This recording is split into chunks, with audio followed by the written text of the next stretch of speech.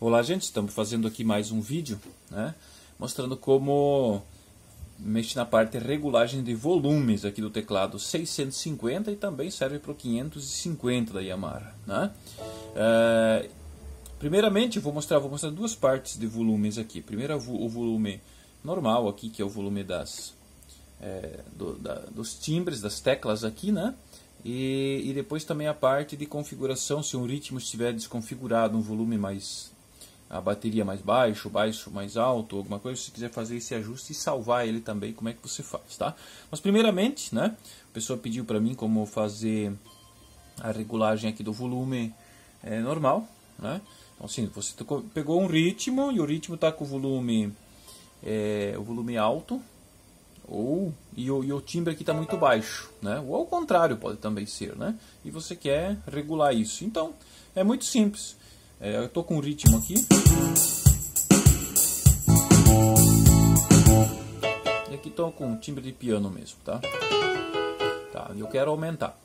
Quero aumentar esse volume das teclas aqui, da mão direita aqui. Então eu vou apertar o funções. Aqui ele já veio direto para para a função de aumentar, mas às vezes no teu teclado ele vai estar tá lá em outro lugar aqui, né? Então você vai é, vir apertando por aqui, ó. Vai apertando, vai apertando até você chegar na opção de main volume, main volume, tá? Esse é o volume que você vai que é referente à mão direita aqui. 127 é o limite, tá?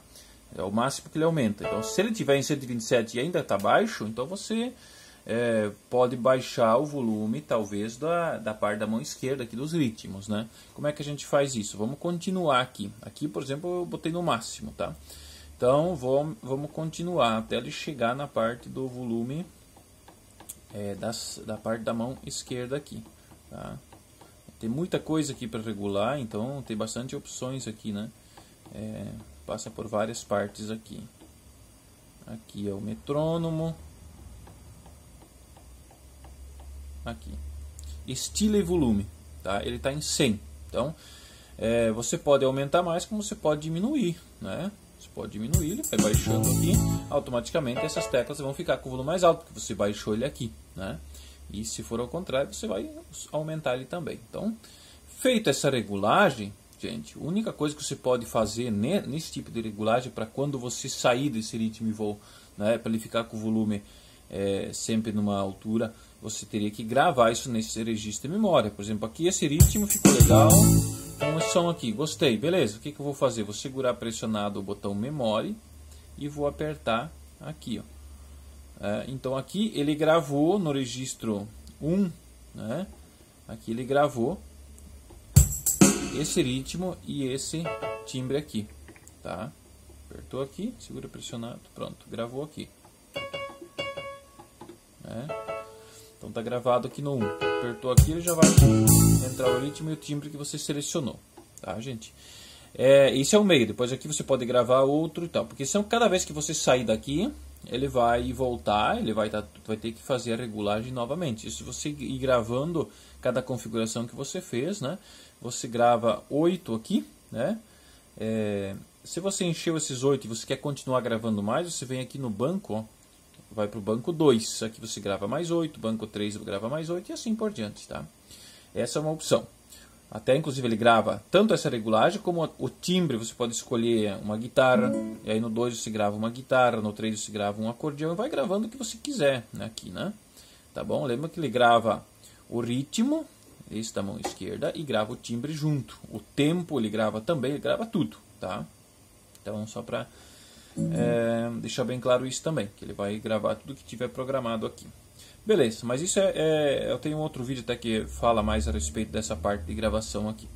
Aqui é, nós regulamos essa parte. Agora vamos para a parte do ritmo. Digamos que você tem um ritmo aqui, ó. A bateria está mais alta do que o baixo. Você quer baixar só a bateria desse ritmo. Ou quer fazer outros tipos de ajustes. Ok. Então você colocou o ritmo, né? Esse ritmo eu tenho na memória aqui, né? É, vou pegar um ritmo aqui, um outro. Amado Batista.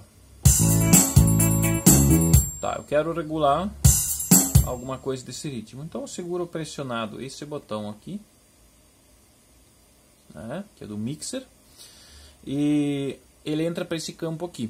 Então aqui eu posso baixar os volumes individuais, tá vendo que tem aqui, ó, ritmo 1, ritmo, é, bateria 1, bateria 2, aí vem o baixo, a guitarra, todos os instrumentos que estão gravados nesse ritmo. E já está direto aqui, ó, nos volumes, ó. E você, o comando é por aqui, ó. Você apertou esse primeiro, ele vem para a primeira bateria. Aqui ele vem para outra. Se você apertar mais uma vez, daí ele, ele entra em off. Ele vai tirar a bateria, ó. Ó, tirou outra também.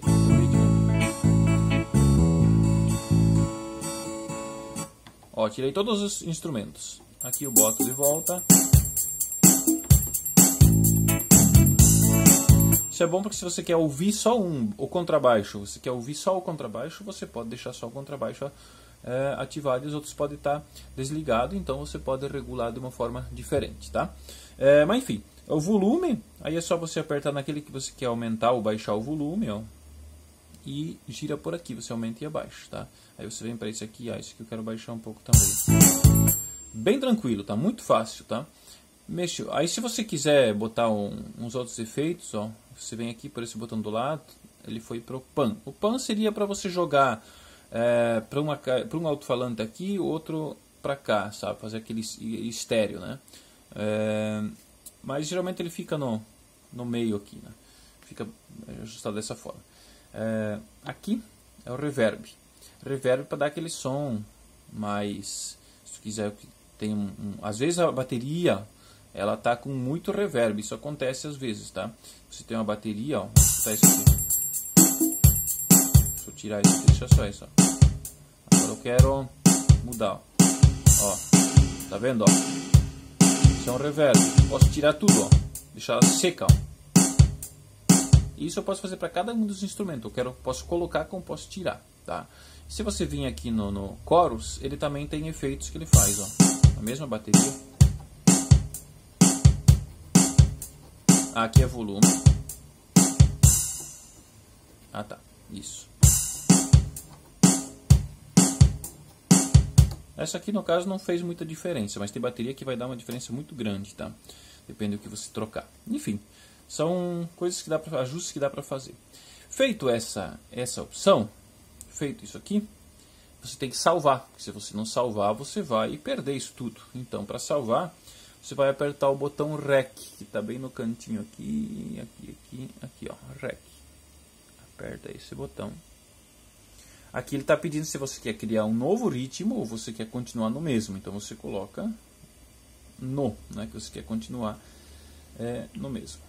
Aqui ele entrou na, na parte de gravação, mas nós entramos aqui só para salvar mesmo, não entramos para configurar nada. Não, já está configurado. Então a gente aperta nesse botão aqui e volta. Ó. Então aqui é a parte de salvar. Aqui ele vai salvar no pendrive, tá? O pendrive está conectado. Eu não sei, eu já tentei fazer sem o pendrive para ver se ele salva na memória. Eu não consegui achar um jeito de salvar direto na memória, tá? Se alguém até souber, pode deixar nos comentários aí. Eu não consegui achar um jeito de salvar direto na memória dele. Tá? Tudo que eu fiz aqui ele salva direto no pendrive. E depois do pendrive você passa de volta para a memória dele. Né?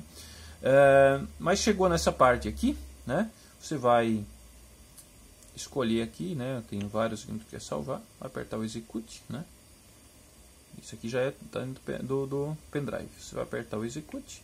Ele está pedindo se quer salvar, você vai colocar é, yes e pronto, ele já está salvando. Aí ele vai estar tá lá no pendrive. Depois é só você ir lá e passar ele de volta para a memória ele já vai estar tá ajustado os volumes tudo certinho. Ok? Então acho que deu para entender mais ou menos né, como é que dá para fazer. É um vídeo meio longo, mas a gente tem que ser bem detalhado mesmo porque são muitas dúvidas aí que tem.